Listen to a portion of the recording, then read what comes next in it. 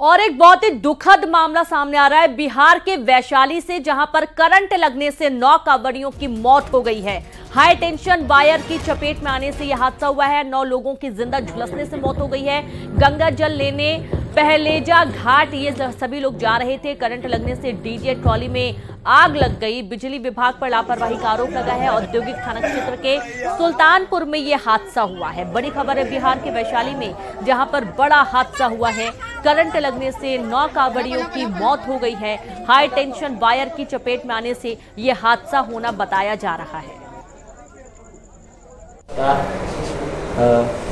और सब आदमी गिर गया करंट लगा था थरथरा के। सभी आदमी गिर गया। उसके बाद फिर सब आदमी सो गया अपने आप भरास्ट उड़ने लगा तार पूरा बजा हुआ सब लग गया पूरा चीज़ लग गया। आदमी सब तीन दस आदमी घायल हो गया इसी। ग्यारह हज़ार की बिजली की तार में सपने से ट्रैक्टर की ट्रॉली सपने से ये घटना घटित हुई है।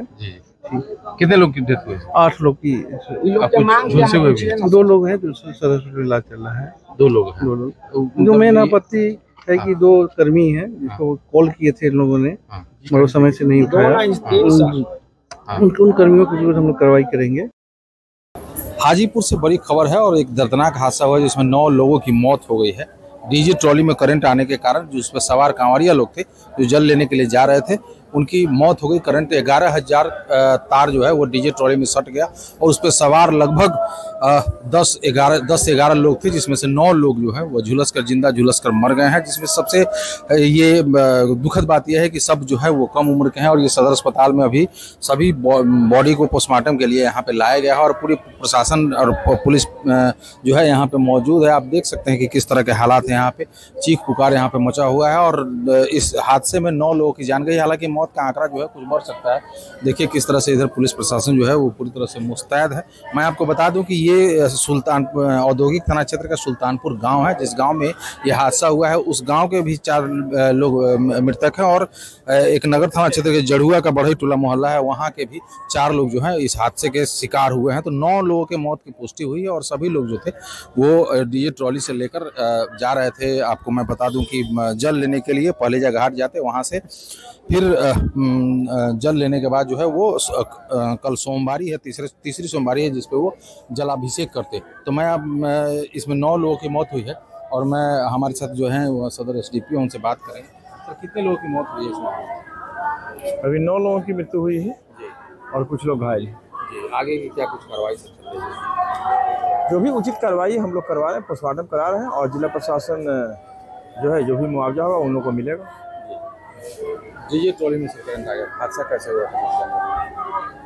हाँ सर डीजे बंधा हुआ था और ग्यारह हज़ार का करंट तार में सट गया। गाँव की बात है। तो स्पष्ट तौर पे जो ये घटना है ये काफ़ी दुखद घटना है और इस घटना से ये नौ लोगों की जान गई है और नौ लोगों के घर में जो है वो कोहराम मचा हुआ है। तो आप समझ सकते हैं कि ये एक बहुत बड़ी घटना और बड़ी खबर जो है वो वैशाली से सामने आई है। Prafull Kumar news eighteen Hajipur. Indore नगर निगम डिजिटल क्रांति की ओर कदम बढ़ा रहा है। शहर की सभी स्ट्रीट लाइट को अब सॉफ्टवेयर की मदद से समय पर ऑन ऑफ़ करने की तैयारी हो रही है। पायलट प्रोजेक्ट के तौर पर शहर के 800 स्ट्रीट लाइट पर आज से प्रयोग शुरू कर दिया गया है। दरअसल इंदौर शहर में चौदह लाख चालीस हज़ार से ज़्यादा स्ट्रीट लाइट्स हैं और शिकायत आती है कि दोपहर में भी स्ट्रीट लाइट ऑन रहती हैं, जिससे बिजली के बिल ज़्यादा आते हैं। और इसी परेशानी और बिल के बोझ को कम करने के लिए यह पायलट प्रोजेक्ट शुरू किया जा रहा है। स्ट्रीट लाइट की ऑनलाइन सुविधा शुरू होने के बाद नगर निगम सालाना 24 करोड़ रुपए बिजली के बिल में बचत करेगा। और संवाददाता मिथिलेश गुप्ता जुड़ गया। मिथिलेश वाकई में ये बहुत अच्छा प्रोजेक्ट है जहाँ पर स्ट्रीट लाइट जो होती हैं वो दिन में भी जलती रहती हैं। कहीं ना कहीं एक बड़ा नुकसान होता है इससे? अरे बिल्कुल बड़ा नुकसान होता है और जब से इंदौर के महापौर पुष्यमित्र भार्गव बने हुए हैं उसके बाद वो अलग अलग टेक्नोलॉजी पे काम कर रहे हैं अलग अलग जो विदेश के लोग टेक्निक अपनाते हैं जो हमारे बड़े महानगर हैं जहाँ पर नई आधुनिक चीज़ों का इस्तेमाल होता है उन नवाचार को भी वो इंदौर में करते हैं। अभी तक उन्होंने देखा कि लगातार बिजली का बिल जो है नगर निगम पर एक अतिरिक्त भार बोझ डालता है एक अतिरिक्त भार डालता है। उन्होंने कहा कि बेवजह जो स्ट्रीट लाइट चलती है उसके बिजली बिल क्यों बनना? अब नई टेक्नोलॉजी का इस्तेमाल किया जाएगा सीडीएस टेक्नोलॉजी का इस्तेमाल होगा और इसमें ये पूरी तरीके से तकनीक पर आधारित सिस्टम होगा कि आप ऑफ़िस से जो कंट्रोल सिस्टम बनाया जाएगा कंट्रोल रूम बनाया जाएगा वहीं से स्ट्रीट लाइट को चालू बंद किया जा सकता है। करोड़ों रुपए साल के करोड़ों रुपए इससे बचेंगे। पायलट प्रोजेक्ट की शुरुआत हो रही है। बिल्कुल, आप मिथिलेश, आप लगातार जुड़े रहिए। बहुत शुक्रिया आपका तमाम जानकारी के लिए। इंदौर के पुलिस कमिश्नर में रोते, गिड़गिड़ाते थाना प्रभारी का वीडियो सामने आया है, जिसमें टीआई के द्वारा ट्रांसफ़र को लेकर गुहार लगाई जा रही है। टीआई वीडियो में कह रहा है कि या तो ट्रांसफ़र करवा दो, नहीं तो गोली मार दो। बताया जा रहा है कि टीआई नेताओं के दबाव की वजह से परेशान और काफ़ी लाचार हो चुका है। दरअसल, हीरानगर थाने में दो बदमाश पुराने अपराध में पेश होने के लिए बेसबॉल के साथ पहुँचा था। बदमाशों ने एक रील बनाकर वायरल भी कर दिया। बताया जा रहा है कि बदमाश कांग्रेस के नगर निगम नेता प्रतिपक्षी चिंटू चौकसे का ड्राइवर है। बस यहीं से राजनीति शुरू हुई है। भाजपा के नेता जय सिंह ठाकुर अपने समर्थकों के साथ थाने पहुँचे और हंगामा शुरू कर दिया। बड़ी संख्या में महिलाएँ भी मौजूद रही। दबाव से परेशान थाना प्रभारी पीएल शर्मा रोने लगे और बोले, आप बेवजह हंगामा कर रहे हैं। मैंने कार्रवाई की है। मेरा ट्रांसफ़र करवा दो या मुझे गोली मार दो। और संवाददाता मिथिलेश गुप्ता जुड़ गए मिथिलेश इतना ज़्यादा परेशान हो गए टीआई कि उनको रोना आ गया, उनके आँसू निकल पड़े? देखिए, इसीलिए हमने कहा भी कि पुलिस कमिश्नरी सिस्टम में बेबस लाचार नज़र आ रहे हैं खुद थाना प्रभारी। हीरानगर के थाना प्रभारी हैं। और उन्हें आखिरकार परेशान होकर भाजपा नेता जो वहाँ पर पहुँचे थे, जो समर्थक हैं, उनके दबाव में उन्होंने ये कहा कि मेरा ट्रांसफ़र ही करा दो या मुझे गोली मार दो।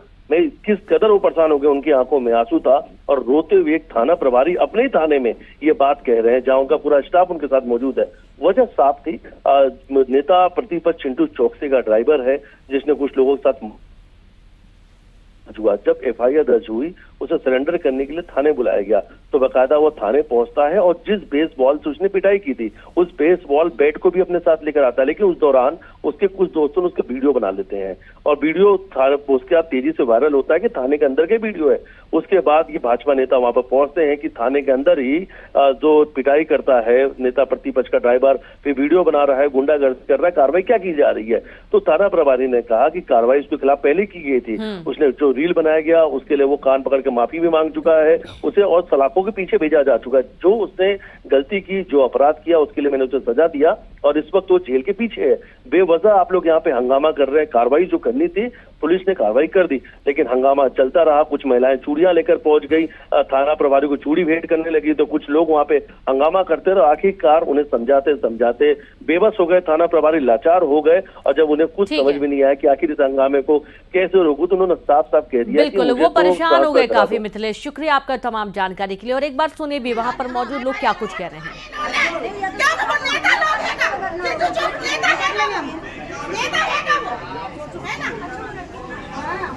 ऐसा तो तुम बुला रही घर से नहीं यहाँ से जाओ थाने से मरवा मरवा बुटा के दी क्या तो तुम्हारी पुलिस तो नौकरी गई ना तुम्हारी पुलिस की नौकरी तो जा चुकी है ना तुम्हारी अंदर घुसो ना जाओ अंदर जाओ दंदना चलो और का अंदर घुसो नहीं आगे। लेंगे पर एक काम करो आगे के थाने में चलो।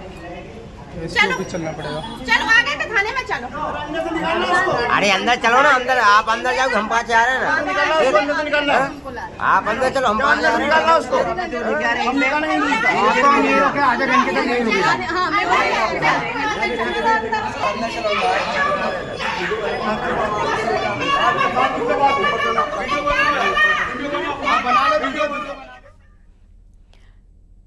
खबर कोरबा से, जहाँ नदी में बहे दो बच्चे, ग्रामीण ने बचाई बच्चों की जान। सूरजपुर से माँ को तलाशते हुए कोरबा पहुँचे थे बच्चे।